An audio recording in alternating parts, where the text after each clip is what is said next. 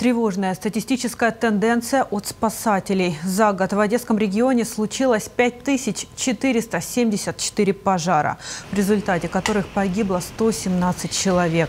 Руководство ГСЧС в нашем регионе подчеркивает, что этот показатель значительно вырос по сравнению с прошлым годом.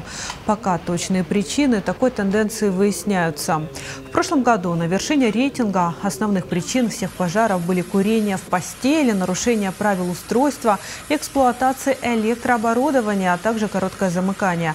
Руководство ГСЧС в Одесской области намерено не допустить похожей ситуации в следующем году, поэтому уже сейчас спасатели активно проводят проверочно-информационные рейды по городу. І зараз е, керівництвом держави, міністерства, голови Державної служби надзвичайних ситуацій проводиться цілеспрямована робота по зменшенню загибелі на пожежах. Хочу сказати, що головним управлінням також ця робота проводиться. На минулому тижні нами було проведено совмісно 31 рейд, рейд і плюс два ще додатково у вихідні. Кроме того, с этой недели у пожарных началась активная подготовка к новогодним праздникам, ведь это три недели повышенной опасности для всех празднующих.